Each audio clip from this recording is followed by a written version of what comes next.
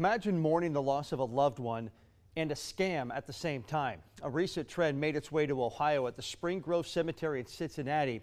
People posing as representatives of funeral homes or cemeteries and contacting families using obituaries. The news reporter Seth Bird joins us live in the studio after talking with a Fraud Watch organization and a local funeral home about this latest trend. Seth? What happened at Spring Grove Cemetery is not the first time scammers have tried taking advantage of grieving families. This has been a national trend over the last year. Now that trend is hitting close to home.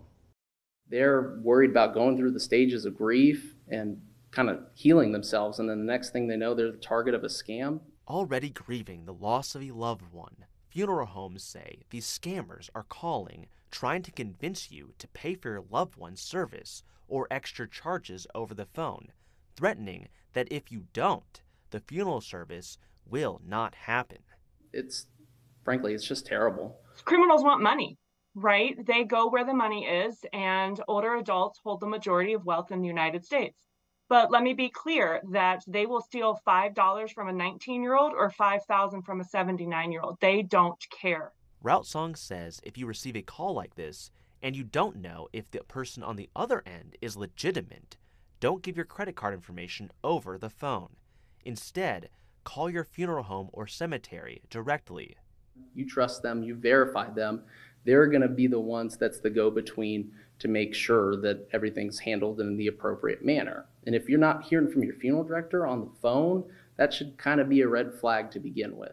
And in the Sign of the Times, Routsong adds you should not share a lot of information in the obituaries since there is so much information available online these days. You know, at this point, with happening down in Cincinnati, I, I fear it's only a matter of time, but just if everybody's more vigilant, maybe it'll just kind of go away after a while.